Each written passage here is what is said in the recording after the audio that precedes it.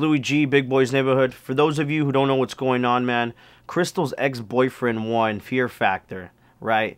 So they make she comes in here bragging about it every single day and check this out, man. I'll challenge your ex-boyfriend, Krystal. Whatever your name is, man, she's making you famous, man. More famous than the TV show. I'm challenging you to anything, man. I'm throwing my gauntlet down, whatever. Whatever challenge you want, man, bring it. I know I can beat you at anything, man.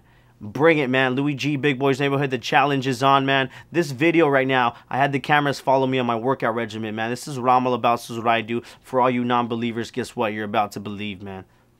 Big Boys Neighborhood, Louie G. Peace.